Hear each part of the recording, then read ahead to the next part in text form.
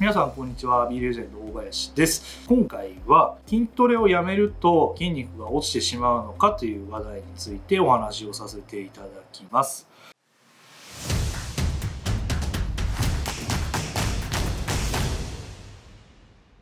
トレーニングに行けない期間が結構あった。または現在進行形でずっとトレーニングに行けない状態が続いてしまっているっていう方いらっしゃると思うんですね。私も年末年始のこう休みの関係でトレーニング10日ぐらいですねできなかったというかまあサボってしまったですけどもやっぱり日常的にトレーニングしてる方がそんな1週間とかね2週間とか長期間休んでしまうとせっかく鍛えてつけた筋肉落ちちゃうんじゃないかってこう心配になる方がいらっしゃると思います。実際にねコメント欄にもそういったご質問をいただきましたのでそれについてお答えをしたいなと思います結論から言いますと筋トレをやめたら当然筋肉は落ちますただ皆さんが心配してるようなスピードで落ちることはないので安心してくださいということですね。トレーニング全くしない期間が2週間から3週間ぐらいでしたら筋肉量はまだ落ちてないと思ってください。もちろんトレーニングをやめて2週間ぐらい経ったらトレーニングで扱える重量っていうのは結構下がっちゃいます。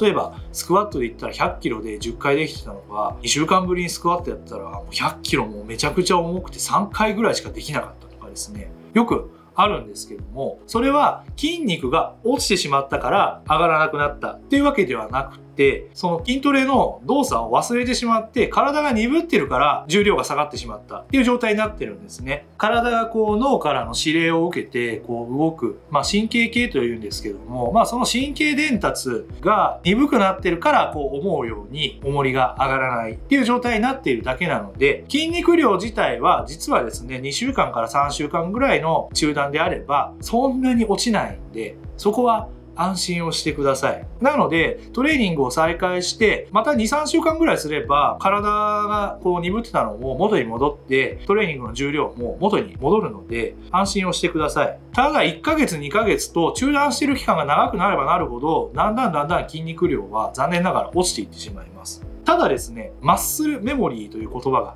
ございまして、ここまで筋肉つけました。で、トレーニング中断して、ここまで落ちました。で、またトレーニングを再開して、えー、ここの筋肉まで戻すまでの期間っていうのは、1からね、つけるのに比べて、だいぶ短く済みます。なので、長期間トレーニングができなくて、筋肉が落ちてしまったとしても、トレーニングを再開していただければ、割と短期間で筋肉量も戻ってくれるので、またゼロからやり直しかって思わないでですねそれまで作ったあの貯金はプラスに働いてくれますので前向きにトレーニングを頑張っていただければなと思います私のね、個人的な経験なんですけども、ボディービルの大会にデビューした年、減量しんどすぎて燃え尽きちゃって、1ヶ月ぐらい一切トレーニングしなかった時期があるんですよ。その時も筋肉量だいぶ落ちたなっていう印象があったんですけどトレーニングの記録も3週間ぐらいで、ま元に戻りましたし筋肉量もまあ1ヶ月ぐらいで完全に元に戻ってくれたかなっていう感じ